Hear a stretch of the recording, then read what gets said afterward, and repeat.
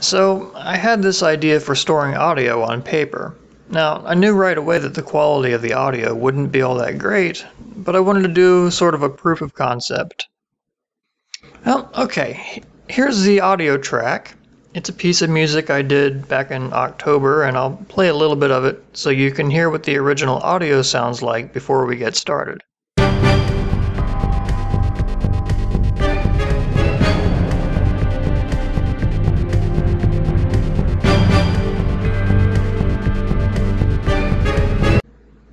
Alright, so anyway, to store this on paper, we're going to need to convert the audio to a relatively low bandwidth, simple format.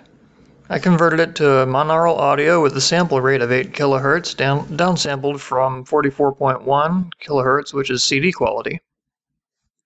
And here it is, converted in Audacity to the simpler format.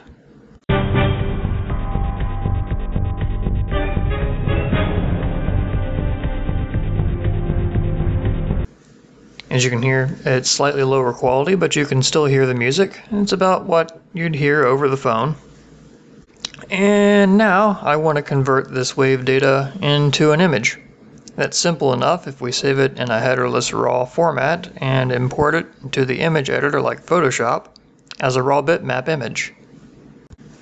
I won't uh, get into the exact specs, but it's 8-bit data, and the audio samples translate directly into pixels in the image. Now, before printing, I increase the vertical resolution so that each line gets a little redundancy. This helps preserve the detail after printing it out. Also, the original import resolution and sound length are added to the printout. And now to print it out. Here's our printout. You can see the printer added some vertical lines and some other noise to the image. This will introduce some distortion and noise in the final audio as you'd probably guess, Again, it's fairly certain that the end result is not going to be high fidelity. So from here, I'll stick this in a flatbed scanner and import it back into Photoshop to begin our test. Here's our scan. You can see it's a bit faded, and I've had to adjust the positioning, skewing, and rotation slightly so that it's aligned properly. It scanned in pretty well. There's still a little tweaking needed to get it just right. Alright, here's our waveform, ready to export back into Audacity to test the audio and hear how it sounds.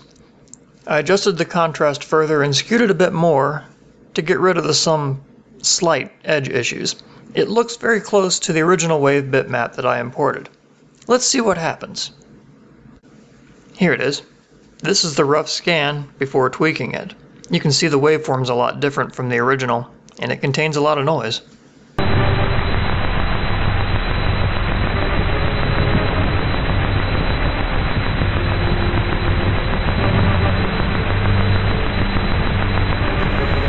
Alright, as you can hear, there is a lot of noise from the printing and scanning process. You might also notice some echo. That's due to bleed over from adjacent vertical lines. Overall, it really doesn't sound great, but you can definitely hear the original music down in the noise. Now here's the audio from the tweaked and cleaned up scan.